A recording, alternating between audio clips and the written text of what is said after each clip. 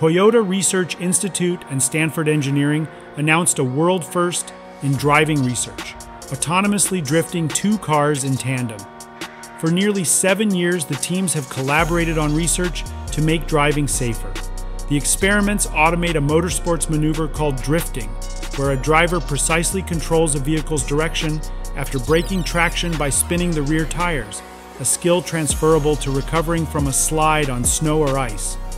By adding a second car drifting in tandem, the teams have now more closely simulated dynamic conditions where cars must respond quickly to other vehicles, pedestrians, and cyclists. In an autonomous tandem drifting sequence, two vehicles, a lead car and a chase car, navigate a course at times within inches of each other while operating at the edge of control.